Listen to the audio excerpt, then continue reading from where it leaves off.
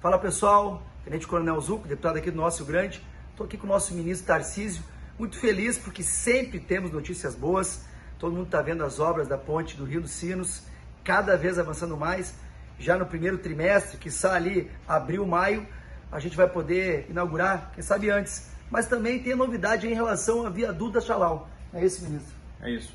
Essas obras fazem parte do que a gente chama de melhorias operacionais da 116 Norte. Então, elas foram contratadas em conjunto. Todas essas intervenções já estão contratadas. Como há uma limitação de recursos, a gente resolveu fazer a obra em partes. Cada parte que a gente conclui libera um pouco de trânsito, ou seja, é a resolução de um gargalo. A gente vai dando mais fluidez.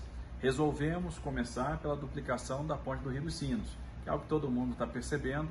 Obviamente, na obra causa algum transtorno, mas quando estiver pronto vai ajudar muito a melhorar a fluidez.